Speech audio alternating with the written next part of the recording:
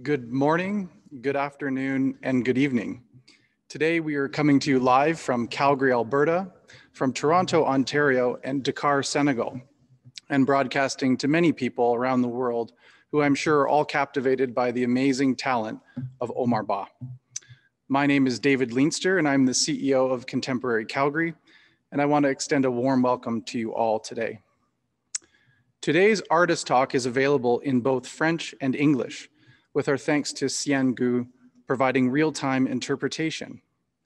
At the bottom of your screen, you will see a globe icon. Please click this interpretation icon and select either French or English. If you are bilingual, you may choose to select off to hear original artists from all uh, audio from all panelists. There will be a Q&A at the end of the artist talk, Please submit your questions by clicking on the Q&A button at the bottom of your Zoom screen. Before we begin, we would like to acknowledge that we are hosting today's artist talk from two territories. In Calgary, the traditional territories of the people of the Treaty 7 First Nations, which includes the Blackfoot Confederacy, comprising the Siksika, the Piikani, and the Kainai First Nations, as well as the Tsuut'ina First Nation, and the Stoney Nakoda, including the Chiniki, Bearspaw, and Wesley First Nations. The city of Calgary is also home to the Métis Nation of Alberta Region 3. And in Toronto, we are hosting today's discussion on the traditional territory of many nations, including the Mississaugas of the Credit, the Anishinaabeg, the Chippewa, the Haudenosaunee, and the Wendat people, and is now home to many diverse First Nations, Inuit, and Métis peoples. We also acknowledge that Toronto is covered by Treaty 13, signed with the Mississaugas of the Credit, and the Williams Treaties signed with multiple Mississaugas and Chippewa bands. It is a real honor and a privilege to host today's discussion and to present Omar Ba, Same Dream, here at Contemporary Calgary, which was organized and circulated by the Power Plant and curated by Justine Khalil, who is also here with us today. We simply can't exist and events like this don't happen without the generous support of many people. First, our presenting sponsor, the TD Ready Commitment, and our supporting sponsor, the Swiss Arts Council, Pro Helvetia. I would also like to thank the generosity of our exhibition benefactors, the Palmer Family Foundation, and Yves Trepanier and Cheryl C. Gottslig. Thank you so much for your friendship and your leadership in this community. And of course, our public funders, including the Canada Council for the Arts, the Alberta Foundation for the Arts, Calgary Arts Development, and the City of Calgary. I would now like to invite Stuart Keeler, Senior Art Curator, TD Bank Group Canada, to say a few words. And after Stuart, I will ask Yves Trepanier, Exhibitions Benefactor and Director of Trepanier Bear Galleries here in Calgary, who will introduce Omar and Justine. Thank you, and go ahead, Stuart. Thank you. Uh, thank you, everybody, for being here. Uh, welcome to my home here in Toronto, Ontario. Uh, interesting times we live in, but art connects us all in really interesting and wonderful, magical ways. There's never really been a more important time to gather together, albeit virtually, to celebrate the power of art and to hear from exceptional artists and curators. In 2018, we launched the TD Ready Commitment, our global corporate citizenship platform to open doors to a more inclusive tomorrow. As a senior curator of the bank in managing the art collection, this is a tool that is also amplified throughout the collection, but also within our sponsorship platforms. One of the main drivers of the TD Ready commitment is connected communities, where we are working to ensure that we create opportunities for everyone to participate and feel included in their communities. We believe at TD that art is a catalyst in activating this goal by reflecting current and often difficult conversations and poignant dialogue. And in leading the TD Art Collection team, I can say that we are also committed to collecting artwork that is reflective of all voices and timely perspectives, while also helping to break down barriers that many artists are facing in the art sector and amplifying diverse voices. Everyone belongs. TD is very, very proud to be supporting Contemporary Calgary and the power plant for this exciting conversation that brings us together today. literally globally. Uh, art has the ability to push ideas forward. I don't think I need to say that to you in the audience here because I think we're all speaking the same language. Art can challenge narratives, build bridges, uh, kind of connect those gaps in a really interesting way with empathy. At TD, we recognize the power of seeing yourself represented in art. And as a bank, we support art, artists, arts and culture related community initiatives and community events that are thoughtful and reflective of many types of experiences and viewpoints. Today's conversation, for example, is a really great uh, example of that. I love Omar Ba's work so much. I saw it four times at the power plant. And in addition, we funneled as many people as we possibly could from TD to the power plant to see this exciting artist's work. So we're all brought here together to hear from Omar Ba, an artist who exemplifies all the above qualities I've mentioned here, but also and the talent of Justine Khalil, who is a voice of our time from a curatorial platform and one that I've admired from afar. So many great opportunities in this conversation today, and I'm looking forward to it and welcoming you uh, as well again. And so now over to hear more from our colleagues and uh, other visionaries. I'd like to pass on remarks to uh, Yves uh, Trepanier. Thank you, everybody.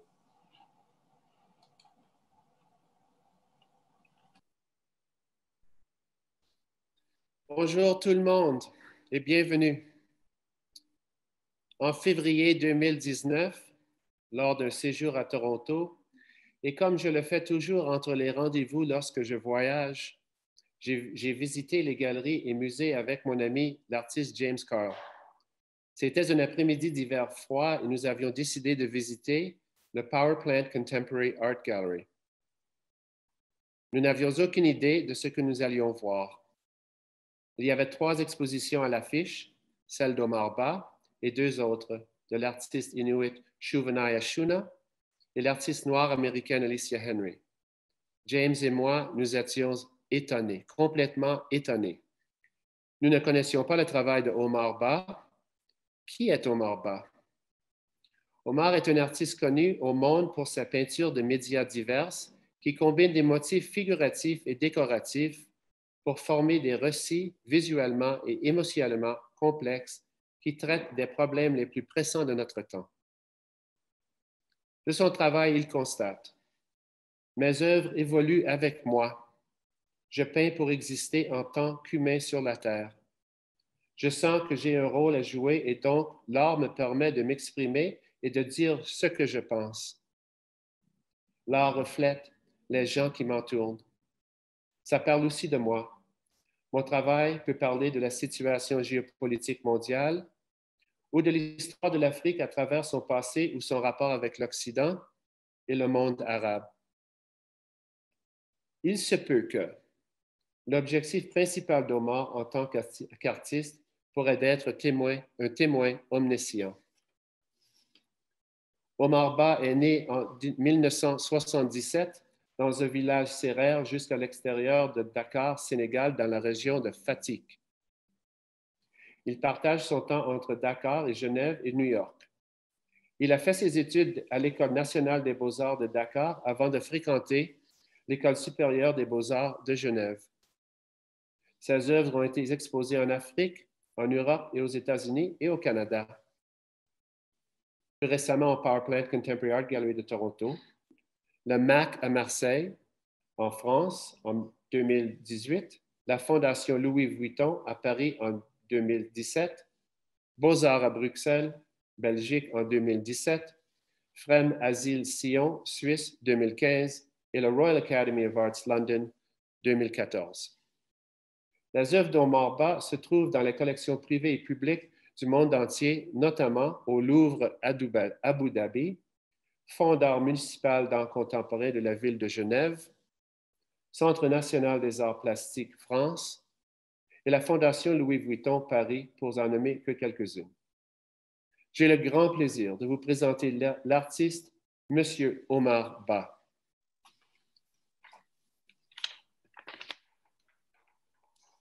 Bonjour, hi. bonjour Omar. Bienvenue. Merci, merci à vous. C'est un plaisir. C'est un plaisir de vous avoir. Aujourd'hui, notre enquêtrice sera Justine Collial. Madame Collial est présentement la conservatrice adjointe au PowerPoint Contemporary, Power Plant Contemporary Art Gallery de Toronto. Elle est titulaire d'une maîtrise en conservation de l'Université OCAD et d'un baccalauréat de l'Université de l'Alberta, avec une spécialisation en art et culture visuelle. Elle a effectué un stage au Luce Foundation Center for American Arts du Smithsonian American Art Museum et au Art Gallery of Ontario. Certains de ses projets de conservation antérieure comprennent Interface, Fringe Gallery Edmonton, Intellectual Play DC3 Art Projects Edmonton, et Sounding the Alarm, The Poetics of Connection, Art Gallery of Ontario. Depuis son arrivée au Power Plant, elle a organisé des expositions pour Beth Stewart, Thomas J. Price, Howie Tsui, et a assisté à l'organisation des expositions d'Ellen Gallagher, Shuvranai Ashuna et Nafus Ramirez Figuera. Je vous présente Madame Justine Collial.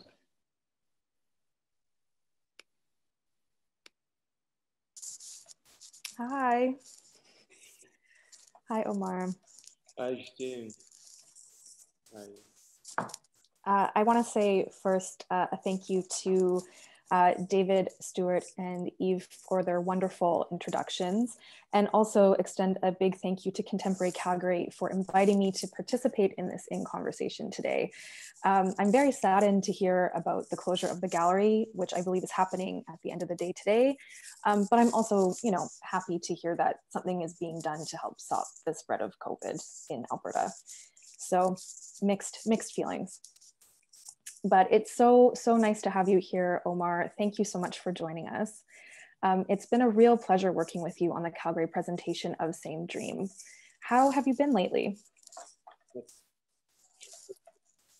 Oui, ça va, ça, ça va bien, ça va bien. Euh, je vais très, très bien. Euh... Um, and, you know, it's been mentioned before, uh, just just now, that you typically split your time between Geneva, Switzerland, and Dakar, Senegal, and more recently New York City. Um, but you're currently in Dakar, is that right? Oui, oui, oui. En ce moment, je suis, euh, je suis à Dakar depuis, euh, depuis mars. Euh, la plupart euh, du temps, euh, j'étais entre, je faisais la navette entre Genève, Dakar et puis euh, New York où j'étais. Et puis depuis la maladie, en fait, de cette Covid, donc je suis venu euh, au Sénégal dans mon atelier où j'essaie de travailler, voilà, parce que je ne voulais pas rester dans un appartement à New York et puis enfermé. voilà, donc je me suis dit, je viens ici.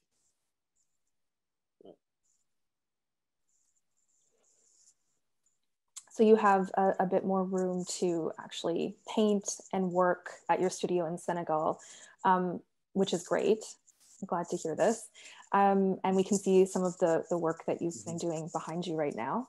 But you know, you also are used to traveling a lot. So I'm wondering if being required to stay in one place throughout the pandemic thus far has impacted the way that you work or you know maybe even the work itself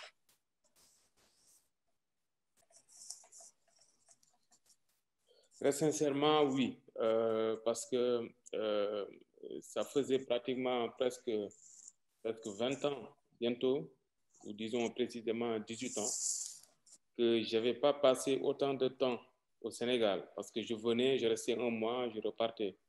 Mais là, je suis resté, euh, ça fait bientôt, ça va faire bientôt 8 mois, 8 à 9 mois. C'est vrai qu'au début, je pensais que ça allait être simple. Donc, j'allais juste partir sur les mêmes bases euh, de travail que j'avais, que ce soit en Suisse ou à New York.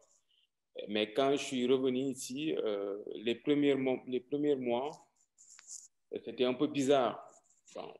Après, je me disais peut-être c'était à cause de la maladie. Donc, comme j'ai ma famille, ma femme, mes enfants, donc il fallait il fallait que je, pense à eux parce que c'était important de penser à la famille et tout ça.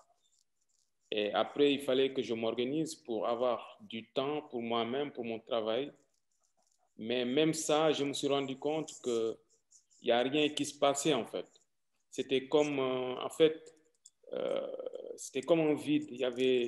J'avais juste besoin d'observer le monde, en fait, de voir ce qui se passe, parce que tout d'un coup, je me suis rendu compte que ce qui était le plus important, c'était plus ce que moi je fais, mais c'était plus le fait d'observer et d'écouter le monde, en fait.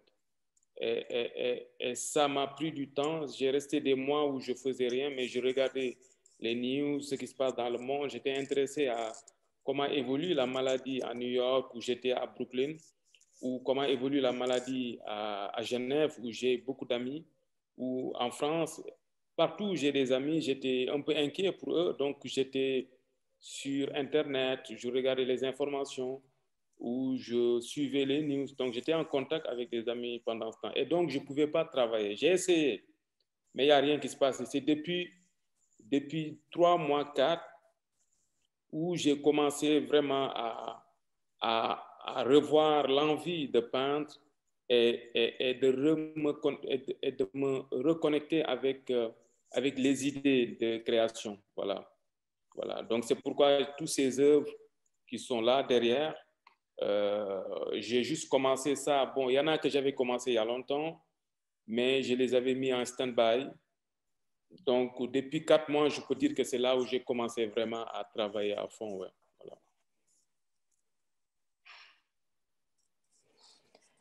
I think um, it's it's kind of nice to hear you say this honestly because I feel as though this is a common thing for many people, artists and but also non-artists, mm.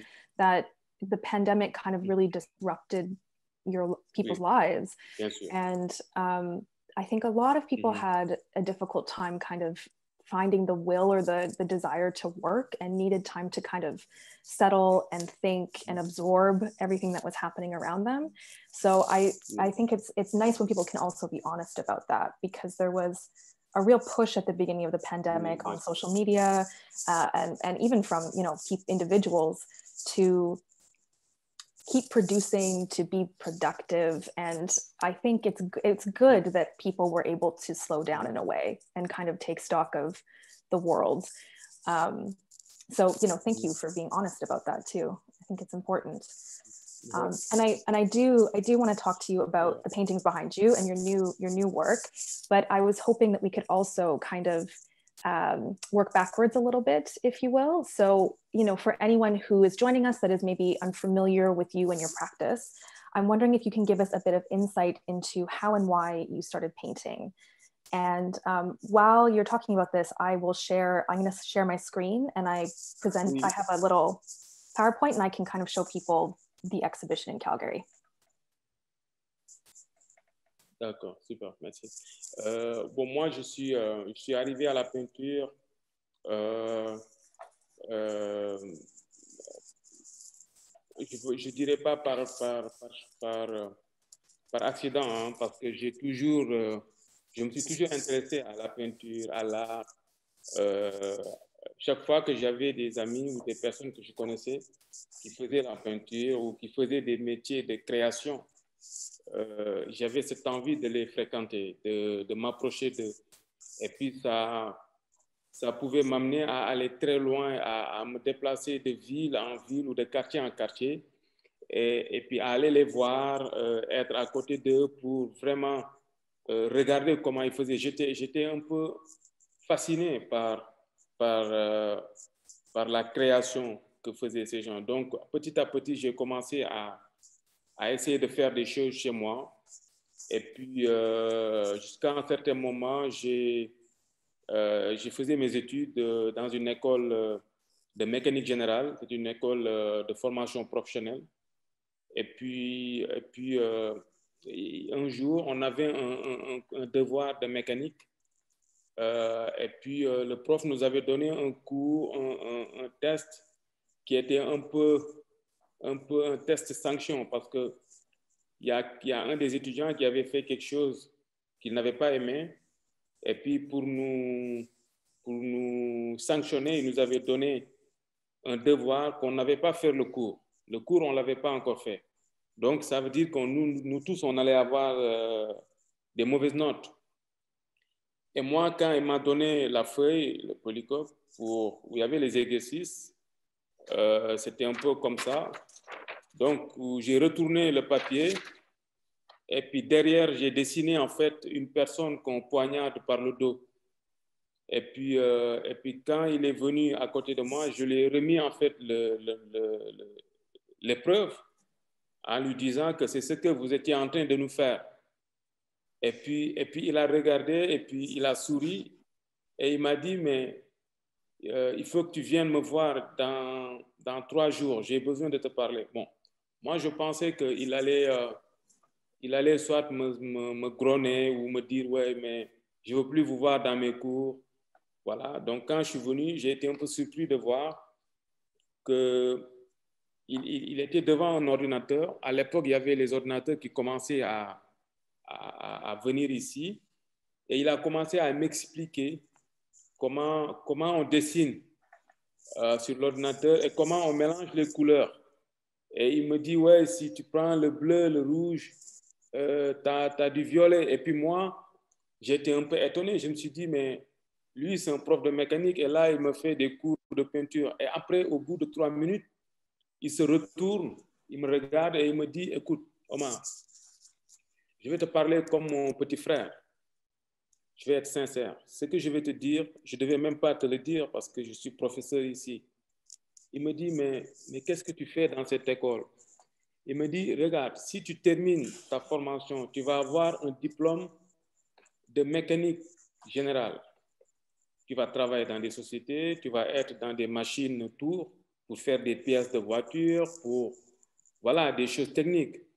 Alors qu'avec le talent que je vois, si tu vas aux Beaux-Arts, peut-être un jour tu seras un grand artiste, euh, tu pourras voyager partout dans le monde. Et puis, bon, j'ai dit OK. Et puis le lendemain, euh, je suis allé aux Beaux-Arts pour me renseigner comment on pouvait faire pour faire les cours pour faire le concours pour entrer aux Beaux-Arts. Donc, ce professeur m'a donné le courage euh, d'aller vers ce que j'aimais faire. Parce que, parce que je faisais, c'est vrai que je faisais cette formation pour avoir du travail et pour, pour, pour être, pour être quelque chose, pour être quelqu'un dans la vie, pour pouvoir euh, euh, s'occuper de ma famille, de mes parents, et puis voilà, pour vivre normalement comme tout le monde. Voilà, mais le fait qu'il m'ait dit ça, ça m'a donné le courage de partir et puis de tenter cette aventure qui est, euh, qui est aussi passionnante et aussi douloureuse et aussi euh, terrible. Voilà, donc c'est comme ça que je suis allé au Beaux-Arts. Voilà.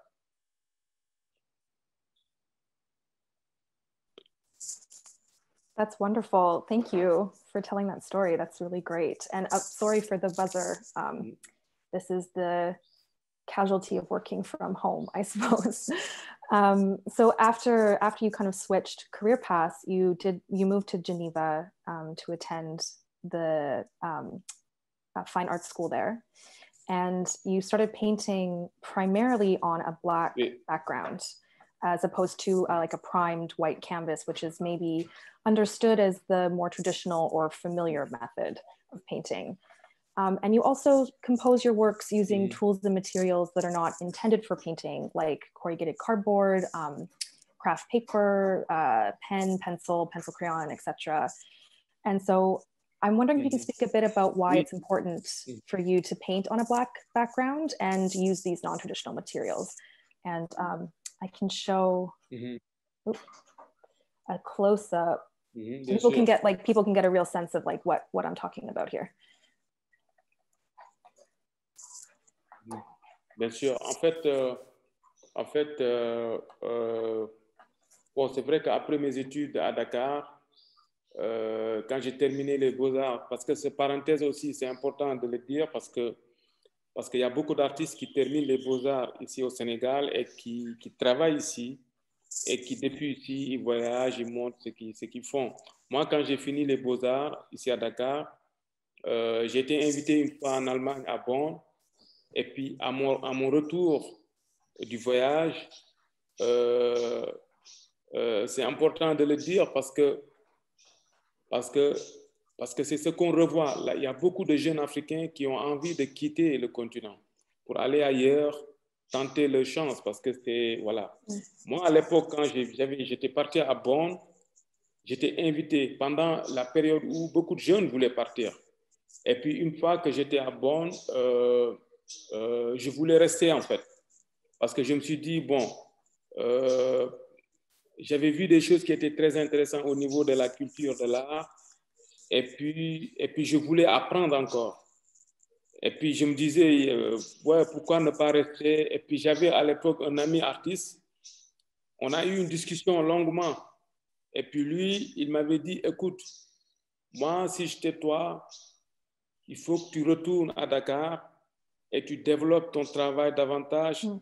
et tu vas voir peut-être que les choses vont aller autrement. Et je l'ai écouté. Et je suis rentré à Dakar. Et quand je suis rentré, ce n'était pas facile parce que les gens du quartier me disaient, mais tu as tes fou. Et parce que, parce qu'il faut le dire, quand on, quand on a la possibilité de saisir une chance comme ça, maintenant, avec le recul, je ne dirais pas que c'est une chance. Je dirais que c'est une possibilité parmi tant d'autres. Euh, quand on a ça, et puis en tant que jeune, et puis on part, et puis on ne l'exploite pas, dès qu'on revient dans le continent, on est un peu mal vu par contre. On est un peu mal vu. C'est comme si tu voulais rien. C'est comme si tu ne peux pas réussir ta vie. Voilà. Et donc, moi, j'étais, un peu confronté à ça. Mais comme j'ai toujours pris tout sur moi-même et j'étais dans mon monde, pour moi, ce n'était pas, c'était pas trop compliqué. Mais j'ai vécu cette période qui était très, très compliquée parce qu'il n'y a personne qui t'aide, il n'y a personne qui veut parce que tout le monde est contre, un peu contre toi, à part ta famille, un peu. Donc, à cette période, euh, j'ai rencontré un artiste suisse qui était venu à Dakar pour faire un wall painting, un symposium. Et puis, j'ai participé à son projet. Et je pense, pendant qu'on faisait le, le, wall painting, il m'avait il m'avait euh, euh, ciblé parmi tant d'artistes. Et c'est à partir de lui qu'il m'a pris à côté en me disant, est-ce que tu veux faire un master à Genève? Et c'est comme ça que j'ai déposé mon dossier et puis, et puis j'ai été retenu. C'est comme ça que je suis allé en Suisse. Voilà. Donc ça, c'était juste pour dire comment j'ai quitté Dakar pour aller en Suisse et puis faire un autre master. Maintenant, l'idée de peindre sur euh, le carton ou des matériaux qui ne sont pas nobles, comme on peut dire, entre guillemets, ça m'est venu euh, quand j'étais arrivé en Suisse j'ai vu qu'en fait, euh, les gens étaient sur des toiles, sur la nouvelle technologie, sur les médias, sur tout ça. Et puis, moi, j'avais zéro sou. Je venais d'arriver, je n'avais pas d'argent, je ne connaissais pas la culture, les gens. C'était très, très, c'était une période très compliquée. C'était la période de 2003 à 2008. Et donc, pour moi, il fallait coûte que coûte créer. Et donc, c'est là où j'ai commencé à dire, OK, si je dois prendre des supports qui sont chers, alors que je n'ai pas de sous, ça va être beaucoup plus compliqué pour moi. Et en même temps, si je dépense des sous, de l'argent sur des supports qui sont coûteux, ça risque de bloquer ma créativité parce qu'après, tu te poses la question euh, de comment je vais faire pour réussir le travail que je suis en train de faire, comment réussir la toile. Donc, ça amène une contrainte au niveau du travail. Et je voulais enlever les contraintes parce que comme j'avais pas, j'étais fauché, j'avais pas de sous, donc il fallait enlever tout ce qui peut me ralentir. Et c'est là où j'ai commencé à peindre sur, sur n'importe quoi, sur des tissus, sur du papier, sur du plastique, sur du carton. Et j'utilisais des craies, des choses vraiment basiques hein, pour créer. Et, là, ce qui s'est passé, c'est que plus on crée, avec le minimum qu'on peut, ça donne des résultats extraordinaires. Et l'envie de partir des choses pas chères et les rendre euh, euh, très, euh, et, les, les, amener à un autre niveau m'avait plu. Voilà, c'est comme on te, donne, on te donne un franc et tu peux en faire des milliers de francs. Et c'est ça que j'ai fait. Donc, j'ai commencé à peindre. Et puis, l'autre chose qui est venue dans cette idée, c'était, comme j'étais un peu un révolté de la peinture, euh, je me disais, l'idée même de peindre sur du blanc qu'on impose, pour moi, pour moi, c'était idéologique, tu vois, parce que je me disais, mais euh, malgré qu'on peut dire que si tu vas avoir une couleur dans, dans ses intensités, tu le mets sur un fond neutre. Et le fait de dire le blanc est la couleur neutre, pour moi, ça renvoyait à dire que le noir n'est pas une couleur neutre. Et du coup, je suis rentré dans cette discussion de pourquoi le blanc et pas le noir. Et, et je me suis rendu compte que tout ça aussi, c'était des barrières. Et du coup, j'ai tout enlevé et je me suis dit, moi, maintenant, je vais dessiner sur le blanc parce que non seulement le blanc, ça me renvoie à la voie lactée, à, aux ténèbres, et puis tout ce que tu dessines avec le blanc, avec du blanc sur du noir, tu le vois. Et l'impression aussi d'avoir euh, les formes et les dessins que je faisais qui étaient suspendus et qui ne donnaient pas de, de limites par rapport à mes dessins m'avait beaucoup plu. Et mm. l'autre chose, c'est le fait aussi de partir sur le noir que je connaissais parce que je suis, je suis noir, si vous voyez bien. Mais toutes mes peintures, tu vois, moi j'aime bien partir du, du, black pour montrer aussi la beauté que le noir a. Parce que, parce que quand on fait des, des tons noirs sur noir, on a des, des, des jeux de gris. Et ça, je trouve magnifique. Et donc, j'ai voulu euh, partir de quelque chose que les gens, ils n'ont ils ont pas l'habitude de faire. Je ne dis pas que je suis le premier à le faire, mais la plupart des artistes partent du blanc. Ça, c'est vrai. Mais moi, j'ai voulu partir du noir pour aller vers, vers la lumière, vers la couleur et puis vers, euh, voilà, pour montrer que, en fait, ce n'est pas parce que le fond est sombre, ce n'est pas parce que euh, le fond est d'une couleur qu'on peut pas faire quelque chose de, de, de magnifique. Voilà.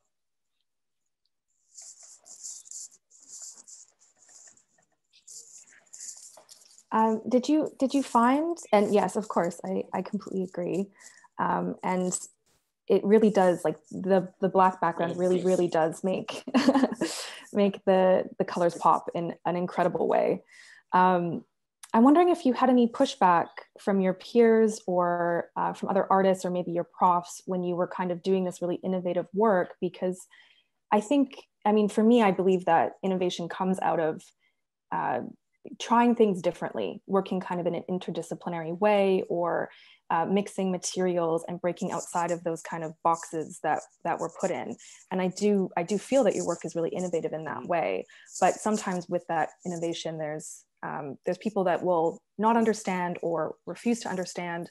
And so i'm wondering if you had a, a difficult time kind of convincing the arts community in geneva and maybe dakar that this was this was like right for you and this was the direction you you needed to go in? Non c'est pourquoi non c'était pas c'était pas du tout facile. Au début euh, c'était je, faisais je faisais partie de ces artistes qui sont qui, étaient un peu marginalisés en fait. Maintenant je peux le dire. Parce qu'en fait la, plupart des, gens avec qui j'avais fait les beaux-arts à Genève euh, euh, quand ils faisaient, il y avait, il y avait des groupes d'artistes où il y avait les expos, les trucs. Et moi, en certain moment, j'étais, j'étais plus invité parce que non seulement euh, les gens ne comprenaient pas ce que je faisais, mais comme euh, je n'étais pas accepté, j'étais moins invité dans des, dans des expos. Et puis, euh, et, puis, et puis en ce moment, j'avais commencé à, à, à, exposer dans des salons de coiffure, dans, des, dans des cafés à Genève, j'ai fait ça.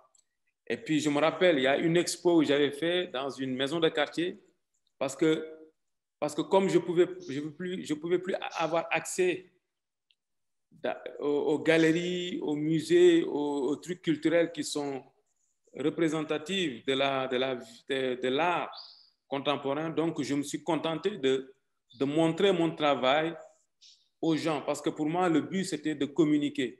Voilà, c'est là où j'ai commencé à aller dans des, dans des cafés, mais en sachant que c'était c'était pas euh, glorifiant pour moi, mais je devais le faire parce que je ne pouvais pas rester avec mon travail dans mon atelier. Et puis, et puis je me rappelle, j'avais fait une exposition. Et dans cette exposition, euh, à chaque fois, je le dis, je souris parce que parce que il y avait chaque fois dans la salle, il y avait trois personnes. Il y avait moi, et il y avait un de mes professeurs, c'est-à-dire le professeur qui m'avait euh, proposé de faire un master à Genève. Et puis, il y, a, un artiste qui venait voir l'expo. c'est pour dire que j'avais pas de monde en fait. Donc les passages n'étaient pas, pas beaucoup. Donc, donc je pouvais faire des expos où il y avait au total 10 personnes. Mais moi, ça m'a pas, ça m'a pas, ça pas poussé à me décourager en fait. Mais par contre, ce que je peux dire, c'est que c'était pas facile parce que, parce que quand on est un peu mis de côté, et, on veut montrer son travail, il faut être fort, il faut, être, il faut y croire. Et moi, en plus de croire à mon travail, c'est comme si c'est quelque chose que je devais faire. J'étais, je devais peindre, je devais créer, j'avais besoin de ça pour vivre, pour exister. Et c'est ça qui m'a donné la force de continuer. Et puis euh, jusqu'au jour où j'ai rencontré mon premier galériste qui est Guy Barchi, et puis qui, qui maintenant la galerie est devenue White à Genève qui m'a introduit et qui a, qui a flashé sur mon travail. Et c'est comme si lui, il avait vu des choses que les gens, ils n'avaient pas vues. Et puis, j'ai commencé comme ça. Et puis, de petit à petit, les gens, ils ont commencé à, à découvrir mon travail et puis à l'accepter jusqu'à aujourd'hui. Voilà. Mais ce n'était pas, pas simple, ce n'était pas facile.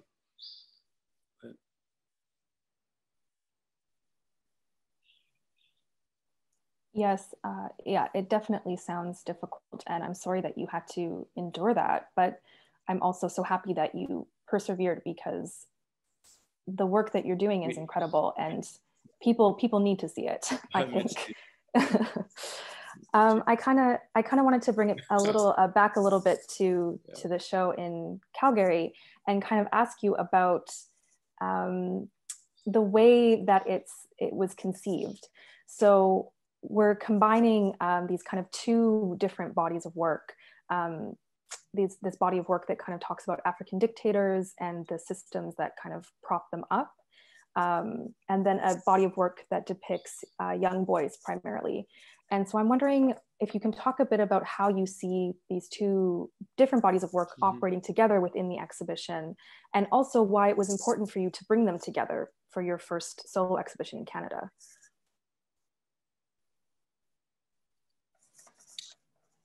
En fait, je pense que l'idée, en fait, de, euh, sélectionner ces œuvres euh, n'est pas, pas partie de moi. En fait, euh, je pense que l'idée est partie de l'expo qu'on avait fait à Toronto avec Gaëtan, qui avait, voilà, l'expo qu'on avait monté à Toronto.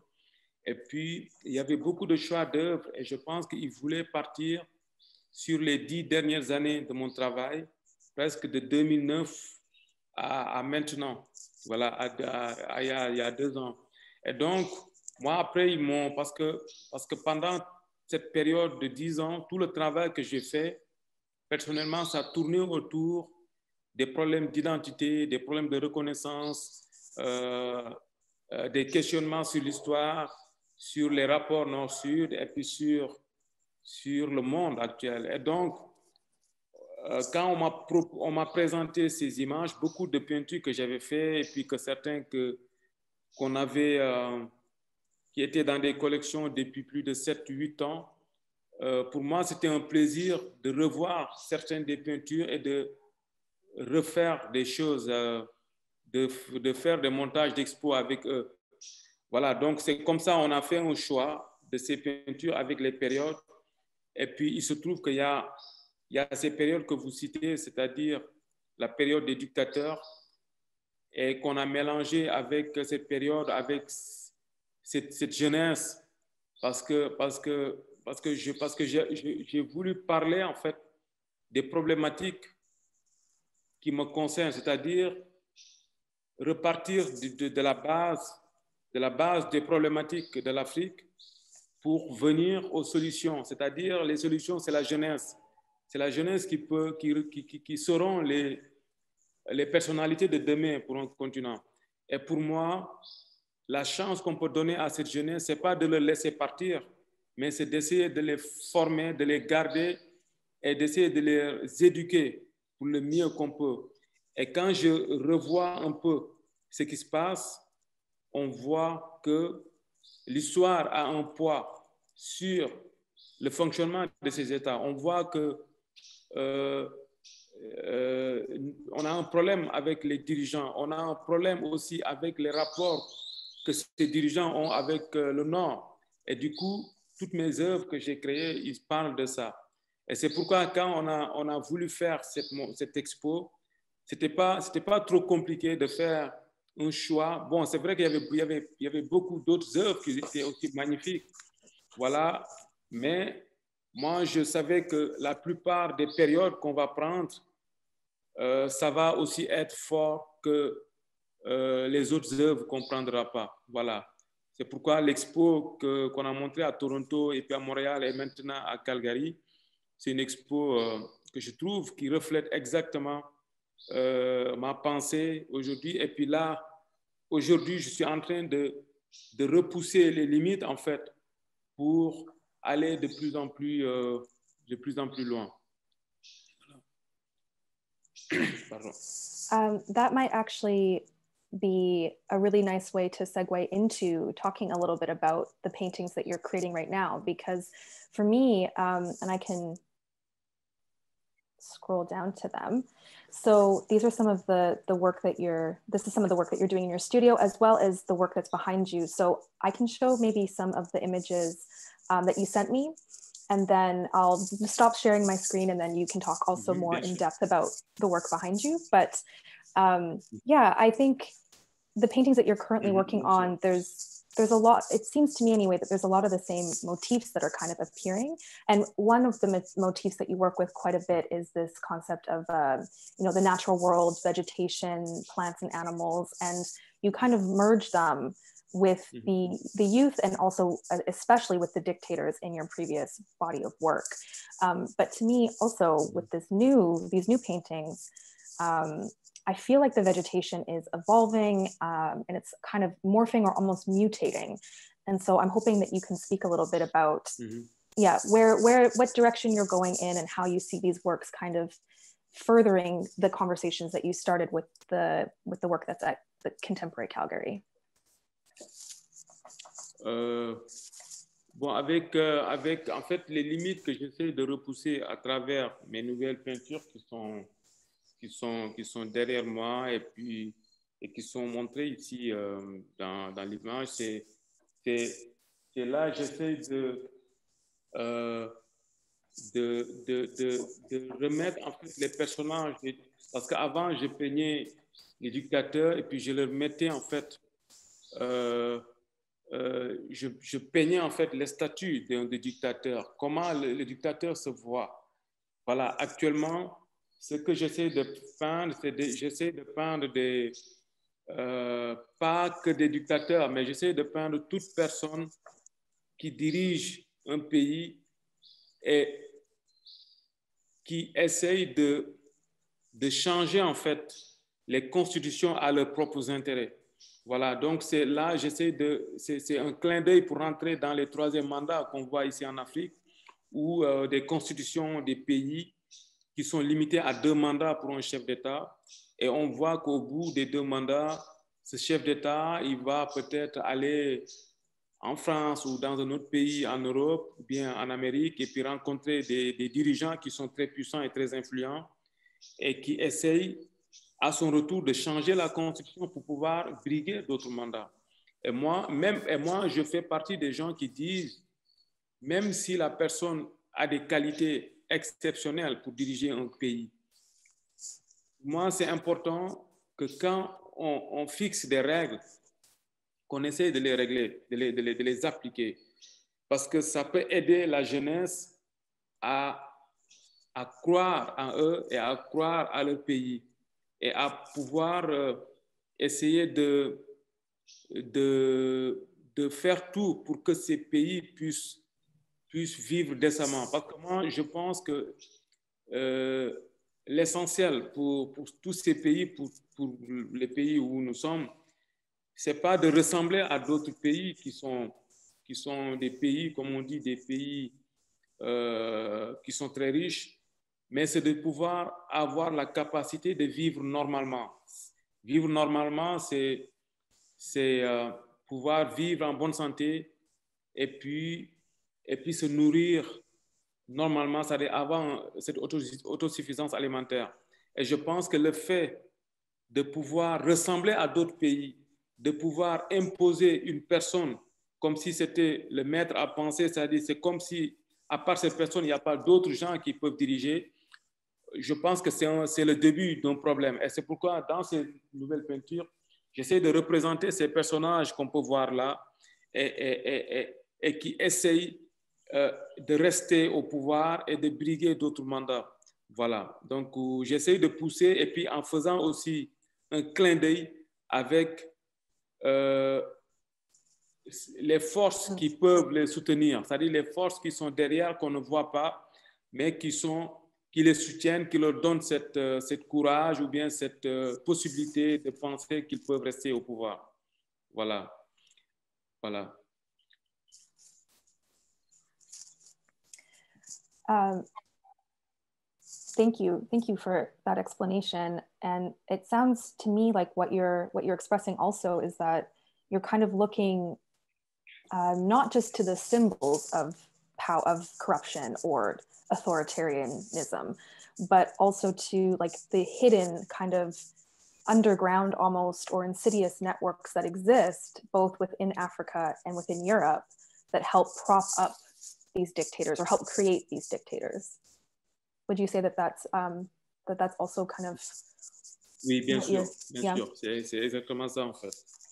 Voilà. Yeah. Ouais. yeah. Um, I'm wondering if uh, I'm wondering if you if you feel and you might not have an answer for this and that's okay um, but I'm wondering if you feel that it might be more difficult for your audience to recognize the more banal kind of aspects of colonialism. Because you're talking about um, systems that are kind of hidden or yeah they're not they're not like the forward facing institutions that we're used to seeing as the kind of symbols of corruption such as like global finance or um, the military um, extractive industries.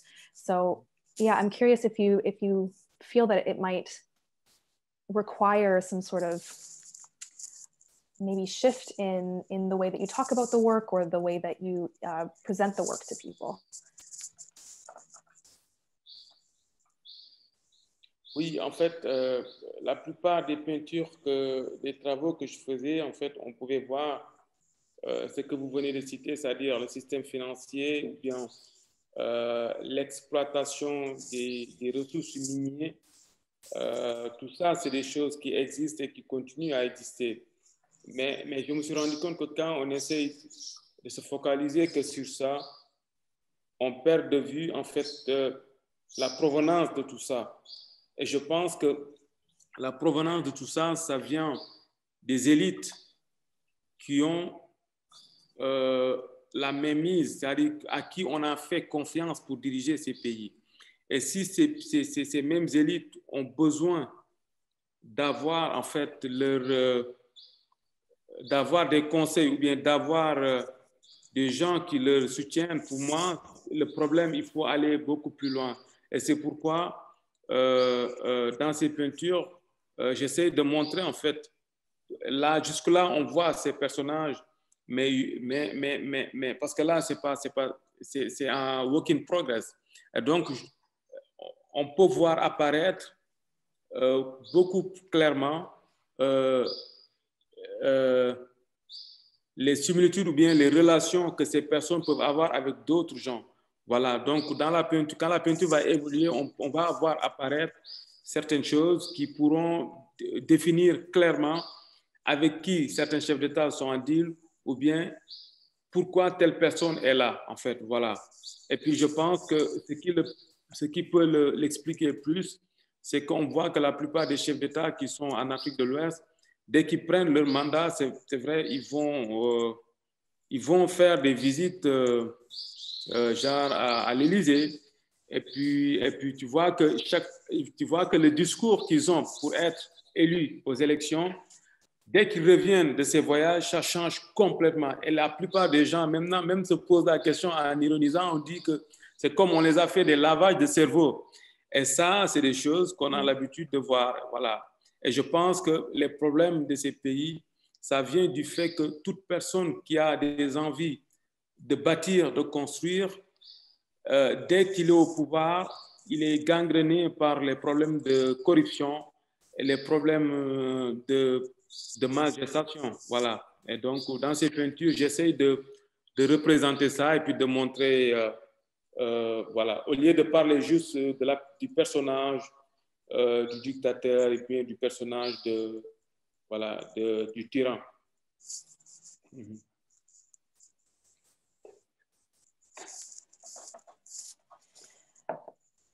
Um, I, I, appreciate that. It's a it's a really it's a difficult job I think to do um, because it is so complex. And I and I do find it interesting that it took something like a, a global pandemic to kind of and not just not just for me, not just for you, but I think for so many people to kind of like allow people the space to think think about kind of these hidden these hidden systems.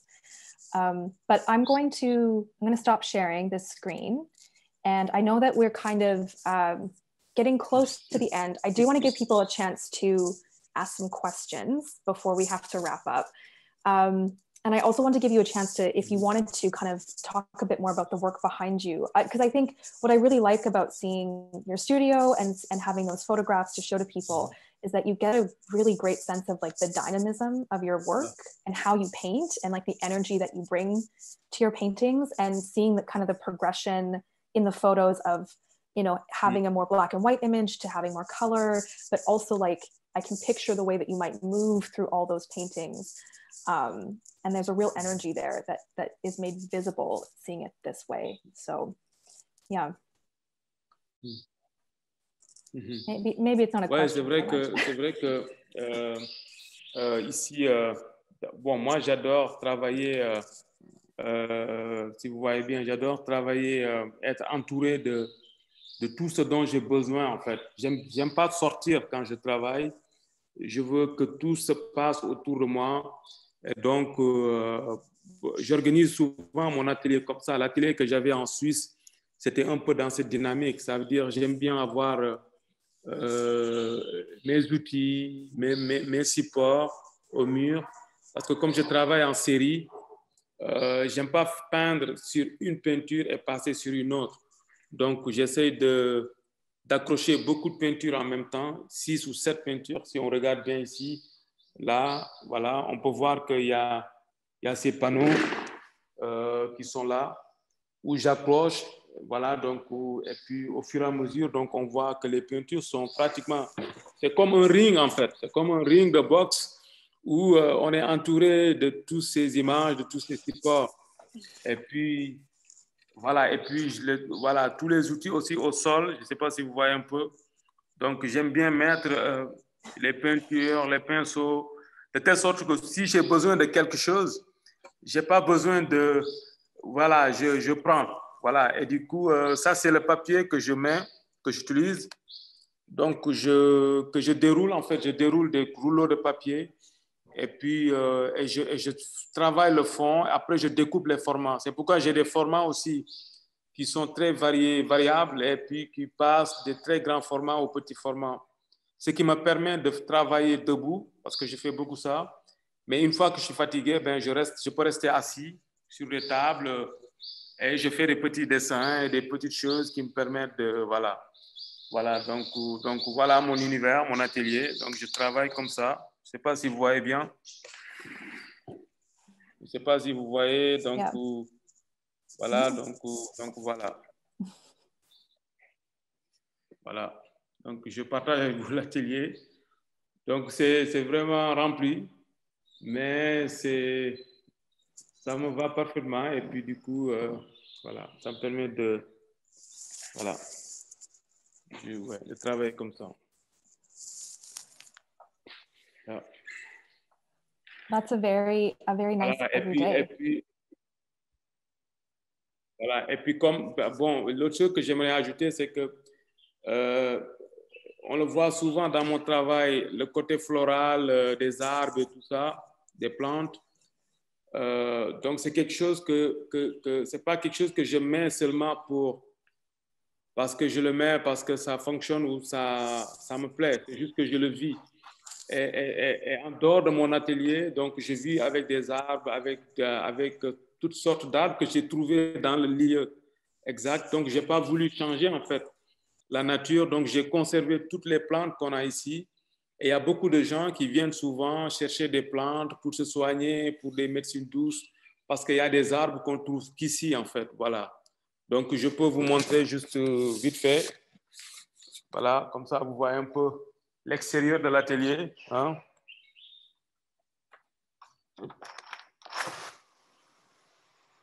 Voilà, c'est un peu comme ça.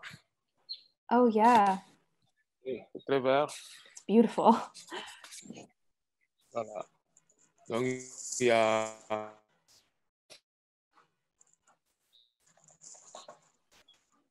Voilà.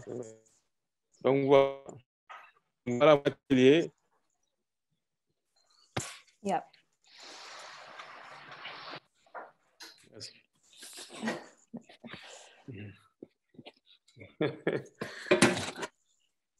voilà. Thank you, Omar. Thank Ben, you. Thank you for showing us that. I think it's so, I, I do think, yeah, it's, it's really, it's great to see kind of the surroundings because yeah, your, your work is so lush with all these plants and all this vegetation, some of which is like made up, some of which is real or exists in real life. Um, and I just, yeah, it's, it's great to see kind of where you work and how you work. Thank you for showing us.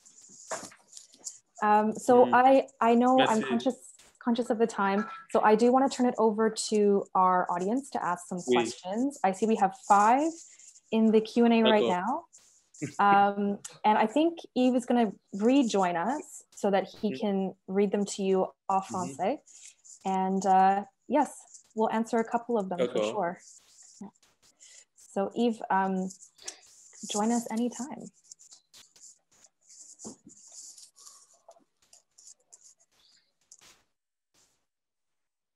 Oh, you're muted.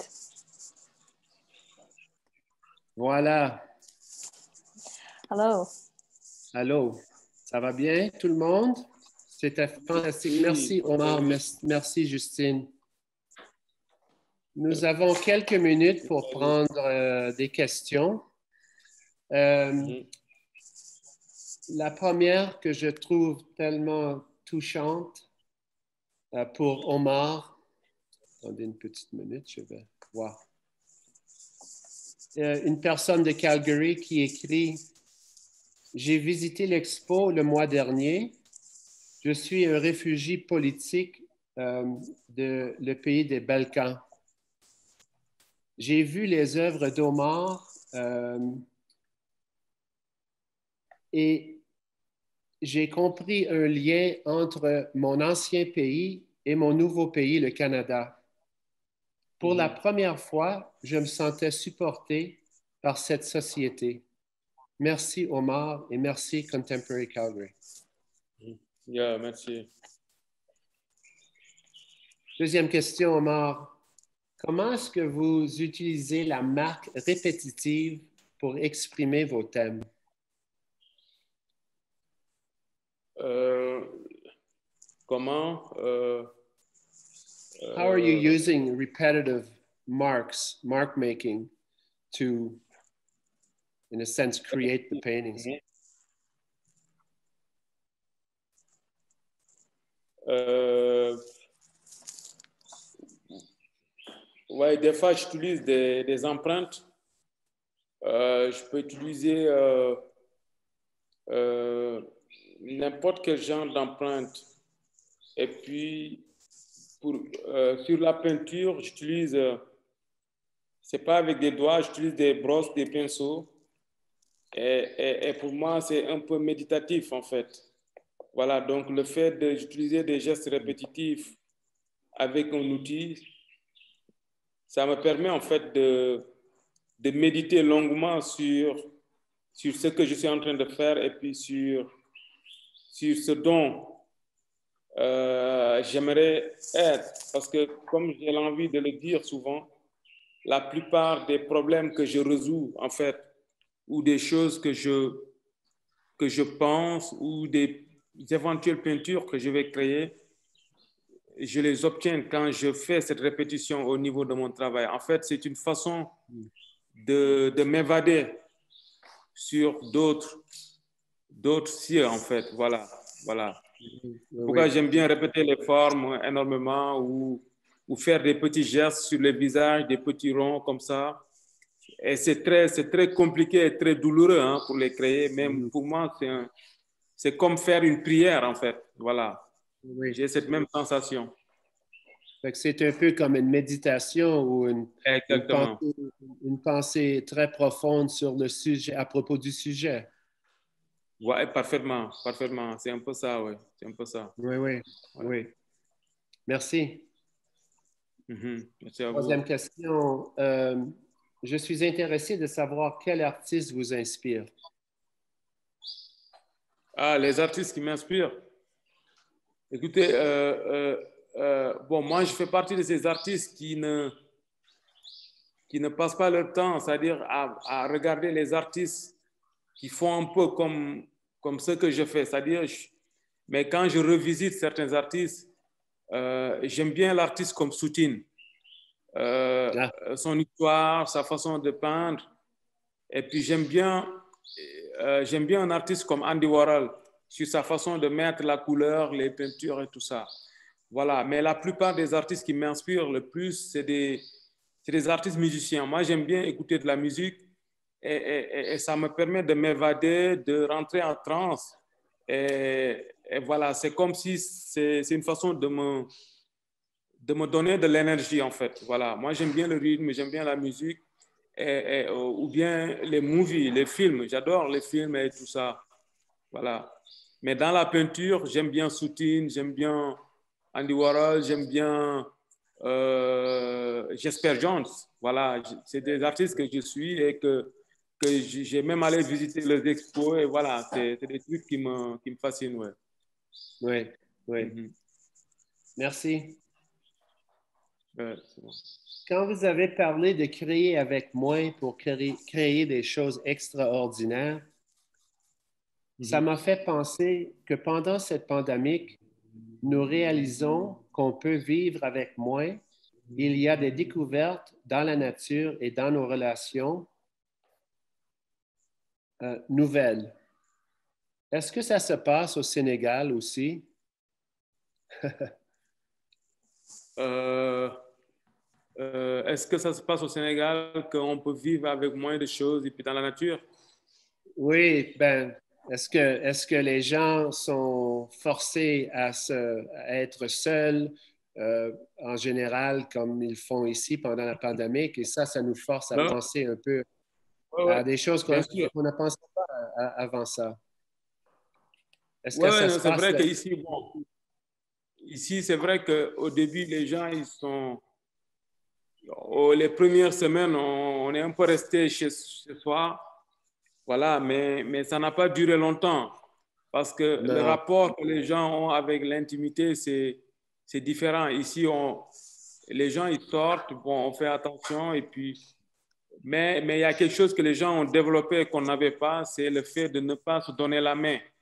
Voilà, ici, on est très tactile. tactile hein. Les gens, ils se donnent la main, ils se saluent.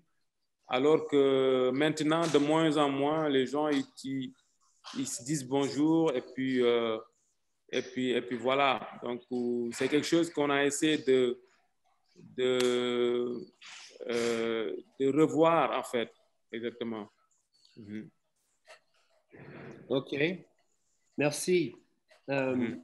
Nous avons une dernière question. Et c'est une observation à propos de votre professeur à Dakar qui vous, qui vous a donné des avis pour le futur de votre vie. Quelle histoire à propos de votre professeur à Dakar et, de pouvoir, et, le, et du pouvoir de l'inspiration d'un professeur ou d'une personne qui est sympathique et qui comprend les talents d'une personne. Ceci n'était pas pour cette influence, peut-être que nous ne serions pas ici. Mm-hmm. Ma jeune fille nous écoute ce, ce matin. Quel avis lui donnerais-tu? Et aux autres jeunes personnes ou à n'importe qui à propos de prendre des risques et de poursuivre leur passion pour beaucoup de personnes et de poursuivre leur passion. Pour beaucoup de personnes, les changements dramatiques comme changer d'école ou de carrière plus tard dans la vie, ce semble très impossible. Mhm.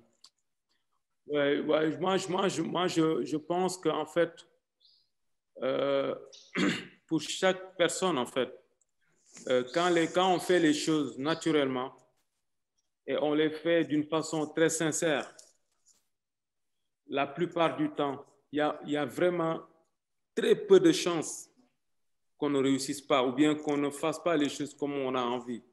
Mais, mais quand on fait les choses parce qu'on nous a, parce qu'on on voit comment, on voit l'influence qu'on a, c'est-à-dire on fait une chose parce qu'on est influencé ou on fait une chose parce qu'il y a le groupe qui le fait, la plupart du temps, on n'a pas ce qu'on aimerait avoir. Moi, je pense qu'il faut, il faut, il faut s'écouter, il faut apprendre à s'isoler, à s'écouter, et puis à faire les choses, et puis à aller jusqu'au bout. Et après, après l'avenir nous dira, mais dans la plupart du temps, on sort gagnant. Voilà, moi je pense à ça. Je pense qu'il faut aller jusqu'au bout et il faut faire les choses, mais d'une façon aussi euh, très assidue en fait. Voilà, exactement. Voilà. Oui, oui. Mhm. Et toi, tu as eu la bonne chance d'avoir des personnes qui, qui t'ont aidé. Voilà, moi, moi, moi, j'ai pas eu beaucoup cette chance. La plupart, Non? des, la, la plupart des choses que j'ai eues, c'est que j'ai eu des rencontres. Et Mm. puis ces rencontres, j'ai su les exploiter parce que, comme on dit, euh, euh, euh, les premières rencontres, c'est les dernières rencontres. C'est-à-dire il faut, il faut savoir se jeter sur l'occasion et puis faire ce don. C'est ce que je disais, il faut, il faut aller au bout de Mm. ce dont on veut faire. C'est-à-dire il faut se donner le temps, donner la force et aussi après laisser faire les choses. Voilà. Mais quand il y a des quand on veut, on a des rencontres qui se passent. Après, il faut se, il faut être présent. Il faut répondre présent pendant ces moments-là. Ouais. Voilà. Omar, euh, merci beaucoup. Merci Et à ça vous. me- hein. Ça me fait plaisir de, de te rencontrer et j'espère qu'on se rencontre euh, plus tard dans la vie. Plus tard, oui, bien sûr, bien sûr. Je l'espère aussi. Et puis, je vous salue tous. Et puis, je profite pour vous dire que j'aurais aimé être à Calgary parce que j'ai visité le Calgary avant la, au début, juste au début de l'épidémie.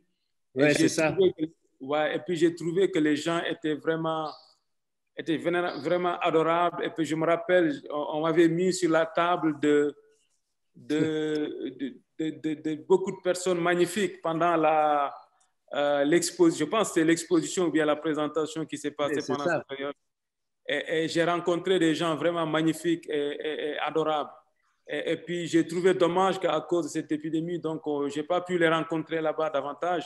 Mais j'espère qu'un autre jour, on aura cette chance. Et puis, euh, ça me fera vraiment plaisir. Et puis, merci à vous d'avoir accepté de faire l'expo. Parce que c'est vrai qu'en tant qu'artiste, on a besoin euh, d'être montré et puis d'être soutenu. Parce qu'on peut faire les choses dans notre atelier, mais si ce n'est pas montré, euh, les gens ne pourront pas les voir. Et donc, je vous dis merci pour tout ça aussi. Merci et je passe la parole à David Linster. Merci. Thanks, Eve, and thanks to everybody. I would like to take a moment to thank Sien, our amazing interpreter. Uh, thanks for the generosity of your time and for making this a great experience for everybody. To Justine, thank you so much for your uh, inquisitive questions and discussion with Omar. To Eve, uh, thank you so much for participating as a friend of contemporary Calgary and uh, in support of this talk.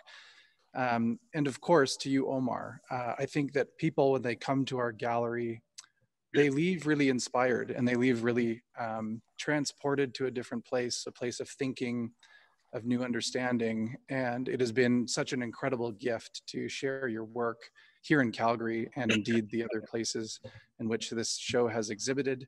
Um, the generosity of sharing with us your studio. Um, I think I saw your dog too. So my biggest question is, what's the dog's name? Uh, but um, Ah, je l'appelle. euh, non, non, ils sont, ils sont deux. Euh, la, la chienne que vous avez vue, c'est, c'est Kaira. Donc, c'est l'inverse de Rakai. Et puis, le, le mâle, c'est Kovi. Je l'ai appelé Kovi parce qu'il est né pendant, pendant l'épidémie. Voilà. Donc, c'est Kovi et Kaira. Amazing. Well, wonderful to meet them too. Uh, we do look forward to uh, seeing you again in Calgary. Uh, to everybody that has joined the webcast today, thank you so much uh, for being here today. And um, we will see you again, hopefully, sometime soon. Merci beaucoup. Au revoir. Thank you so much. Take care.